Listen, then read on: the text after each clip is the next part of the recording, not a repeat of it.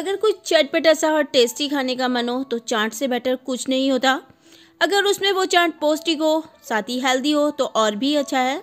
इसी बात को ध्यान में रखते हुए आज मैं आप लोगों के साथ जो रेसिपी शेयर कर रही हूँ, वो बहुत ही ज़्यादा टेस्टी है। वो है मुंबई की फ़ेमस चटपटी चना या मसाला चना।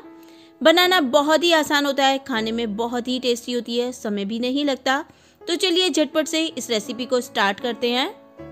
जय श्री कृष्ण दोस्तों, मैं कल्पना माहेश्वरी अपने चैनल माहेश्वरी रेसिपी में आप सभी का स्वागत करती हूँ। आज मैं आप लोगों के साथ स्ट्रीट स्टाइल, काले चने की चाट की रेसिपी शेयर कर रही हूँ, यानी कि चटपटी चाट की रेसिपी शेयर करने वाली हूँ। और उसके लिए मैंने ये काले वाले चने ले लिए हैं। जब भी कभी आप चने की चाट की रेसिपी ट्राई करें या किसी भी टाइप की रेसिपी ट्राई करें, जो आप उसकी क्वालिटी लें, चाहे चने हो, छोले हो या मटरा हो एक अच्छी क्वालिटी का चना लें, उससे हमारी जो चाट बनेगी ज़्यादा अच्छी बनेगी। सबसे पहले चनों को अच्छे से साफ़ कर लिया है, क्योंकि इसमें कई बार बहुत सारी मिट्टी वगैरह आती है और उसके बाद हम इसे पूरी रात के लिए भिगो देंगे। ओवरनाइट चने भीगने के बाद में चनों का साइज़ पहले से काफ़ी बड़ा हो जाता है और उसके बाद बारी है इन्हें प्रेशर कुक करने की, उसके लिए प्रेशर कुकर लिया और उसमें चनों को डाल देंगे। और इसे दो तीन पानी से भिगोते समय ही बहुत अच्छे से वॉश कर ले। साथ ही चनों में डाल देंगे वन एर्थ टी स्पून जितना सोडा। सोडा डालने से चने बहुत जल्दी पक जाते हैं, वरना चनों को पकने में बहुत ज़्यादा समय लगता है और साथ ही डाल देंगे जल्दी पकाने के लिए और अंदर तक अच्छा नमकीन टेस्ट चला जाए, उसके लिए हाफ़ टी स्पून जितना नमक मिक्स कर देंगे। इसके बाद प्रेशर कुकर का ढक्कन लगा देंगे और करीब चार सीटी आने तक हम इसे पकने देंगे। चुनों में एक एक करके चार सीटी आई और उसके बाद प्रेशर भी अच्छे से निकल चुका है। बस, अब हम चनों को खोल लेते हैं। और एक बार चनों को चेक ज़रूर कर लें, क्योंकि अगर चने उबलते अच्छे नहीं हैं तो वो बनते भी अच्छे नहीं हैं। और देखिए, चने बिल्कुल अच्छे सॉफ्ट हैं। जो ये चने उबाले थे, उसमें जो थोड़ा सा एक्स्ट्रा पानी था, वो मैंने अलग कर लिया है। देखिए, सिर्फ़ दो से तीन टेबल स्पून ये पानी है।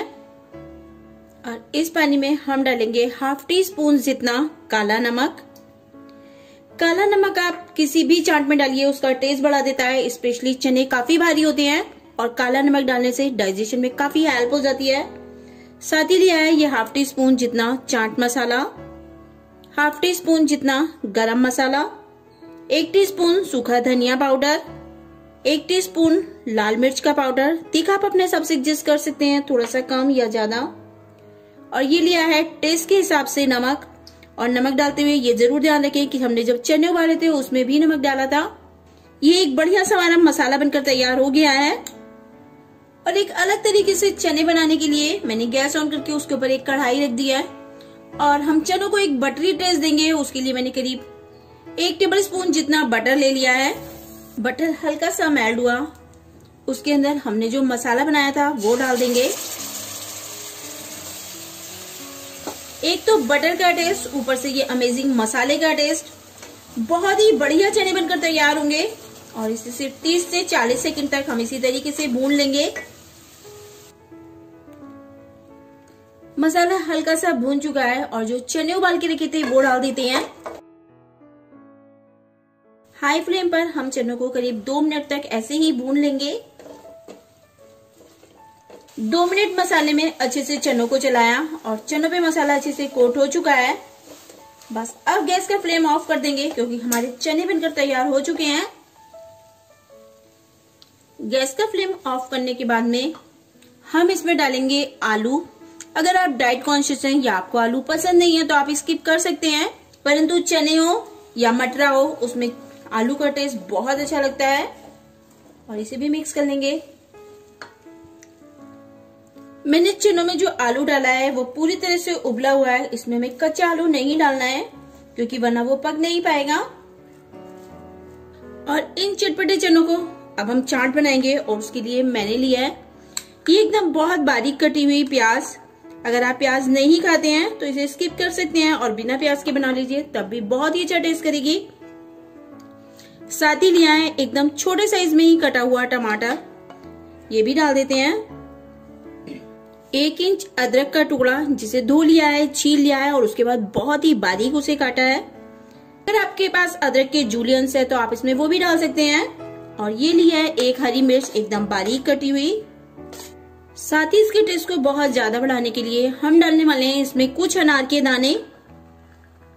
अनार का हल्का मीठा टेस्ट चाट में बहुत ही अच्छा लगेगा। और थोड़ा सा हरा धनिया ऊपर डाल देते हैं। और बस इसे मिक्स कर लेंगे। बहुत ही टेस्टी और बहुत ही हेल्दी हमारी ये चने और अनार के दाने की चाट बनकर तैयार है। उम्मीद है ये चटपटी चाट की रेसिपी आप लोगों को पसंद आई होगी। अगर अच्छी लगी हो तो अपने कमेंट ज़रूर करें। कमेंट बॉक्स आप लोगों के कमेंट का इंतज़ार कर रहा है। वीडियो को लाइक कर दें फ्रेंड फैमिली शेयर कर दें चैनल पर पहली बार आए हो तो चैनल को सब्सक्राइब करने और साथ ही बेल आइकन को प्रेस करना बिल्कुल भी ना भूलें। Thank you